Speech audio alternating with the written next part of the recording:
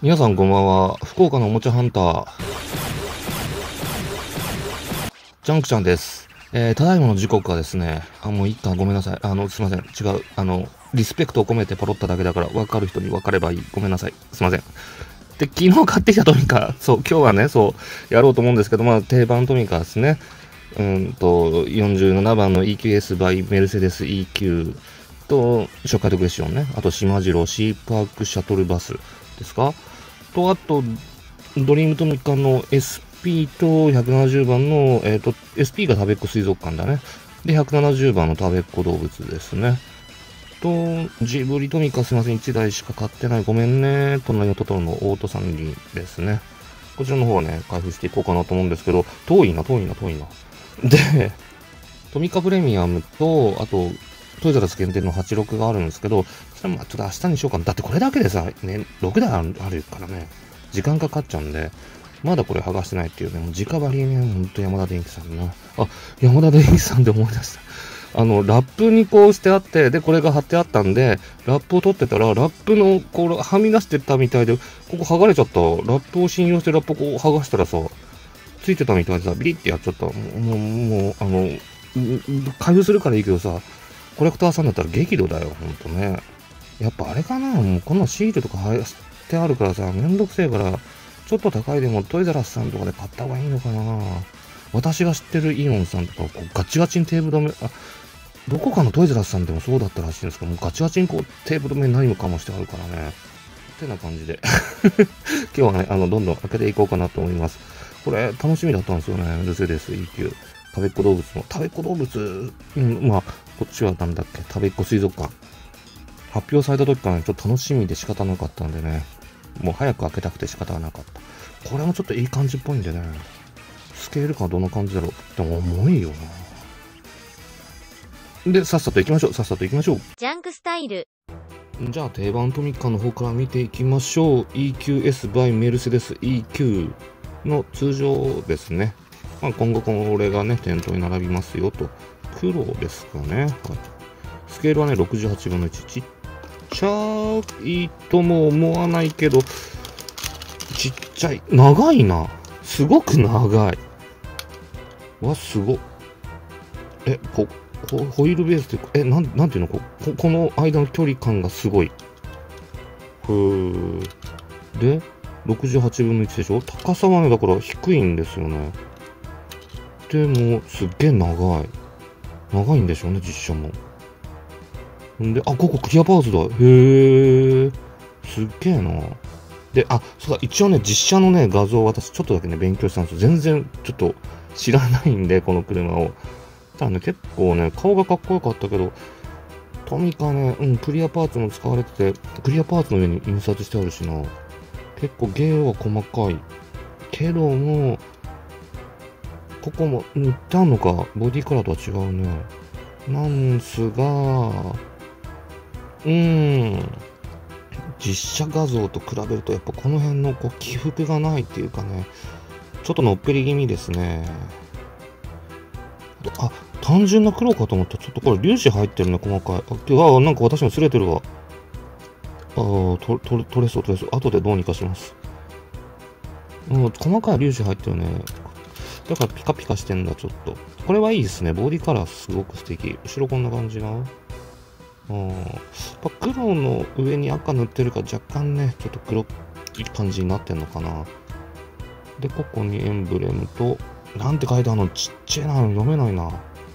あです。あ、ギミックなしか？サスペンション？ないんだ。ここ、ハウス結構隙間あるからいけるんじゃない？ってなるけど、いっか。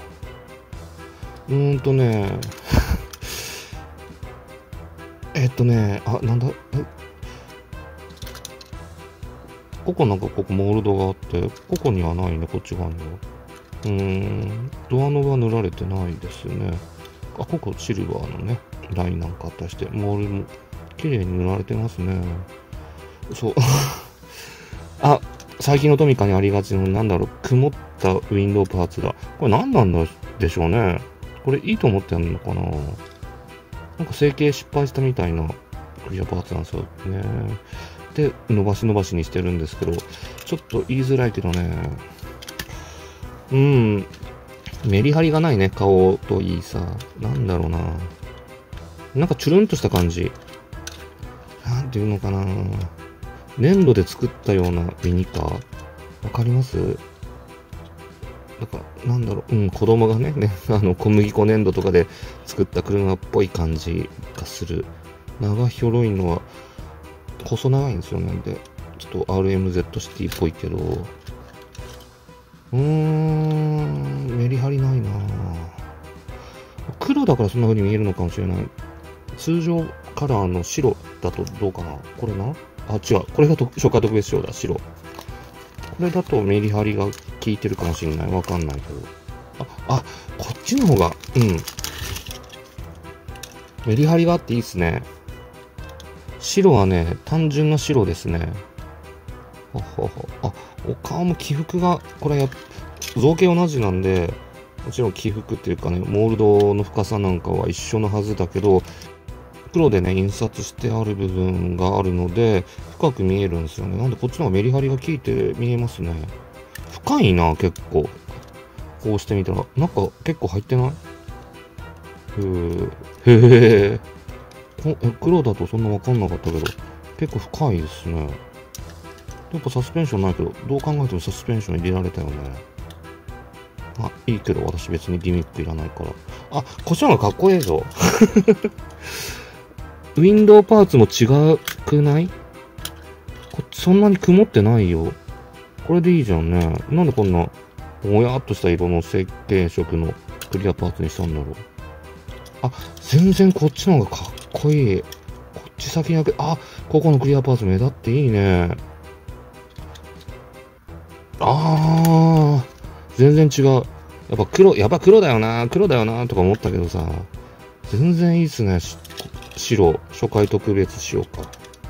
いや、やっぱり、エッジはね、ちょっとだるいんですけど、だるいというか、まあ仕方ないよね、子供用というか。でも、どうなんだろうね。対象年齢3歳以上で、まあ、なんだろう、ユニバーサルデザインでしたっけ？目の不自由なお子様でも遊べるよっていうのをなんか隠れ身のにしてちょっと最近どんどんエッジがだるくなってないか丸っぽくなってないかと思うのは私だけですかね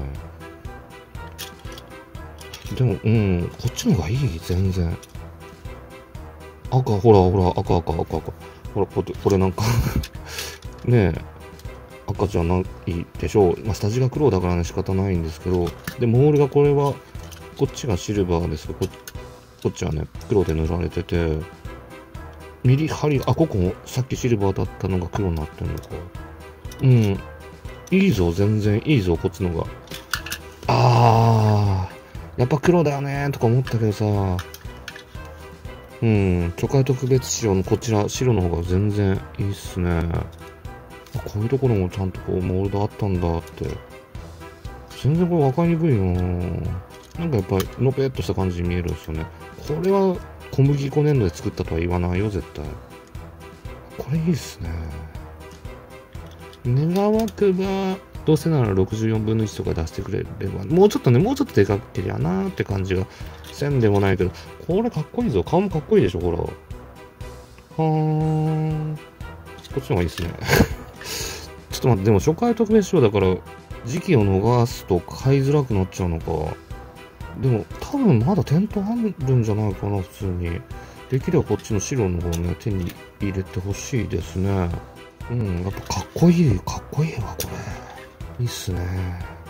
うんで、もう一つの方が島次郎シーパークシャトルバスですね。はい。えー、シールじゃないよね、多分。シールじゃないよね、ここ、ここいろいろあるけど。印刷でありますように、印刷でありますように、印刷でありますように。お、よかった。おおこれは島次郎だねはい担保綺麗ですねさすさすがねちょっとにじんでるかなって思わんでもないけどさすがの技術この広範囲ね印刷してズレがないっていうねにじみもほぼほぼうんちょっとあるけどっていう感じこれ何バスは？えっと、三菱フソエアロスターだって。バスはね、ちょっとね、知らないのよ。ごめんね。こっちね、この担保があって。顔もちゃんとしてんな。うん、あ、細かいね。これすごいな、ここ。ね。ね。これは、うん、担保を楽しむ。うん、担保っていうかね、うん、そうですね、担保。トミカの印刷技術をね、なんだろう、楽しむようなものか。これでも車高低いね、このバス。よく見たら。ここの角度じゃちょっと分かりづらいな。え？こんなに低かったの？これじゃ分かりにくいか。なんだろう。まあ、買ってみて。だからこ、そうだ、これ、さっきのメメルセデス。これ、結構車高高いんですよね、やっぱ。これ触った後だと余計に、こう、車高、車高低いこのバスってなるんですけど、これやっぱサスペンション入れないんだったら車高下げてもよかったんだ。あ、でもそれだとあれか。大型玩具で遊びにくいとかあるのかな発表された時から楽しみにしてたで食べっ子動物、ドリームトミカですね。これが、よ、はあ、よかった。これもシールじゃないし、すごいぞ、これ。見て、やっぱり。すごっちょっと待って。シール、シールじゃないぞ。さすが高いだけある。あ、ちょっと待って、なんかくっついてる。ほら、来た。すごいね。絶対この辺シールかと思ったよ。印刷印刷。ピンクがね、鮮やかな感じでね、なんだろうな T1 っぽいね、ホルクスハーゲンの。ぽいね、絶対意識してるよね。ちょっと、ちょっとずつ変えてるけどね、いろんなところ。うーん、並べても面白いんじゃないですかね。もちろんスケール表じゃないね。バター味、金、銀ビス、食べっ子動物、ビスケット。あ、ピンクで可愛いですね、これ。と印刷が滲んでるかなってなる、あるけど、すごいよな、これ。今回は、あれだ、トミカ様の、宝トミー様の印刷技術を堪能する 月ですかね。ちょっとね、この黄色のホイールと、うん、ここの部分のね、成形色はちょっと安っぽいけど、別にそんな気にならないか、そんなね。ミニカーとして見るっていうより、こうこういった、なんだろう。このサイズの立体造形物として、ね、楽しむのが一番いいんじゃないですかね。これいいぜ、やっぱ。買ってよかったわ。え、これなんか結構数、出回ってる数が少ないって本当ですかね？ちいかわレベル。ちいかわどうですか？あ、でもあれだね、ちいかわも本当発売月にちらっと見かけたぐらいで、あと全然見かけないね。でまあ、好きな方はみんな買ってるかな。でもこれ本当にいいね。ワーゲンバスとかと並べてみたいですよね。用意しろってね。で、SP 版の方が食べっ子水族館ですね。で、これ箱ベコベコにへこんでるから私持って帰るときになんか圧をかけたかなと思ったらそうじゃなくて、なんだここ、シュリンク、このね、なんていうの、ビニールでしてある包装がギューギューってなってて、かなりきつめになってたんで、圧がかかってるんですね、その時に。なのでこんな感じで全体的にへこんでるから、箱が。なんですよ。開けるときも結構きつかった。パンパン、パン、パンみたいな感じでしたね。あ、これサスペンションありですね。サスペンションで書いてあるわ。これな。ほら、来た。これ、やっぱピンクが可愛いかな。あ、でもいいね。これめっちゃ絞ってあった。はいはいはい。こんな感じですよ。印刷がすごい。これ滲みないぞ。こっちは全然ないですね。はあ、これはね、すごくいい。え、このバスみたいなやつって、私ちょっとドリームトミカとか詳しくないんで申し訳ないですけど、前からあったの？この片手だと、ほら、ホットイールのキャラクターカーでよくね、なんかこういった版が使われるみたいな感じで、お何でも印刷できるよね。ほー。え、キャスト、いつなってる？著作 ?2022 だから、新しめのキャストだよね。こっちの方がいいよね。ほら、呪術廻戦とかさ、あの、BTS のやつで使われてたようなキャストよりも全然こっちの方がいいよね。ほう、あ、で、これ違うんだ。これはスペアタイヤになってる。これはなんか、こんな、クッキーみたいな、あ、アヒルかなになってんあ、そう、あ、そうだ、クッキーになってんだ。食べっ子動物の。ビスケット、クッキーじゃなくてビスケットな。おー、これは、これはいいね。並べて置いときたいですね。はあ。素晴らしい。これはね、お値段以上ですよ。お客さん。お客さん。えー、すごいな。素晴らしいですね。買ってよかった。楽しい時間っていうのはあっという間に過ぎるんですよ。えー、これ最後ですね。隣のトトロ、ジブリがいっぱいゼロなのオート三輪ですね。これ、あ、どうなってんのかなまたくるくる方式。くるくる方式嫌なんだよね。どうなってる？どうなってる？くるくるっていうほどでもないね。よいしょ。今回はたくさん入ってたね。前はね、ジブリトミカってなかなか買いづらかったけど、うわ、すごい。重いなと思ったら結構ぎっちり入って、うわ、でかっえ、これいくらだったんでしたっけ？いくらだった？えっとね、これね、私買った値段が924円、山田さんでね。高えなと思ったけどさ、そらするわ。すごいこれ。やばない？と、劇中と比べてないからどうにもあれだけど、これはジブリトミカ私の中では猫バスタイガーモス号と続いての感動ですね。ちょっと中の成形色安っぽいけどなおおこれすごい。すごいね、ここ。え、どうなってんのこれ？ほー、これは、すごい。で、トミカだよってちゃんとこだわりが ここまでそ、そこまでホイールこだわんなくてもいいかな。うん、自転車がちょっと安っぽいけど、え、自転車なんて積んであったんだ。全然気づいてなかった。何回も見てんのにね、トトロ。だからトトロなんかは自分がリアルタイムで見る年じゃないっていうかねジブリから離れてる年だったけど年の離れたあの妹がいたんでなんかトトロいつも見ててで子供ができたらやっぱりねトトロ見んのねトトロ安心だよねなんか なんだかんだ言ってだからトトロってそっか私の生涯映画視聴ランキングって多分1位ラピュタなんですよねで、2位はやっぱトトロかな。なんだかんだ言って見てるよな。自発的にっていうか、自分が見ようと思って見てるわけじゃないけど、結局見ちゃってるっていうのはやっぱりトトロですね。これは、でもすごいね。だから、な、なん、なん、もう、あの、今更文句言っても仕方ないけどさ、ガンダムトミカのあのクオリティよ。